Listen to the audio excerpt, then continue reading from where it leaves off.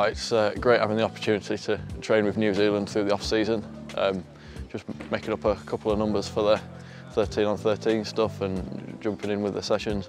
Woke up to a message one morning off Clint saying um, these boys fancy going down and helping out New Zealand, make up a couple of numbers, train with them and a bit taken aback by it but obviously it's a it's nothing you, you, you can't turn down so um, yeah it's, it's been class so far and um, I hope we can do a bit more soon yeah. It's, uh, it's such a, a great learning opportunity to be able to, to train alongside like so Joey Manu, Dylan Brown etc um, and just learn off the boys that they've got plenty of time to, to keep you right and tell you what, what you're doing right, what you, what you can do better.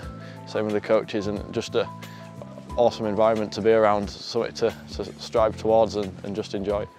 Pretty starstruck to be honest, yeah. Um, walking into the hotel and all the boys are getting you around the team, you know, they, they were really, really welcoming. Um, I know a lot of people might think it, it wouldn't be like that with them being superstars and uh, a couple of young lads coming in, but they couldn't be better. Uh, they've brought us both in with open arms and um, it's, it's quite mad to be honest. First morning on the coach, unbeknownst to us, we had to do an initiation. Um, I mean, it worked too bad, we just had to get up and sing a song. AJ weren't as keen for it as maybe I was, but uh, got up there and absolutely belted out Valerie. Absolutely nailed it. Boys loved it. It's been a hell of a journey.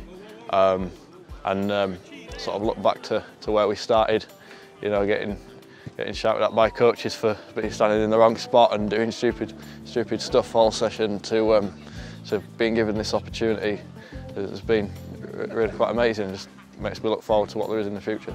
If you'd, uh, you'd told me when I was 15 year old that in a few years you're going to be training with New Zealand's first team, getting them ready for the World Cup, I'd, I'd laughed in your face and said absolutely not a chance. But I mean, yeah, it's just so thankful for the opportunities that I've been given.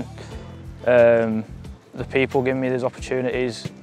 It's just I never thought I'd been here even a few months ago. I'd never ever thought I'd be here, so really, really thankful.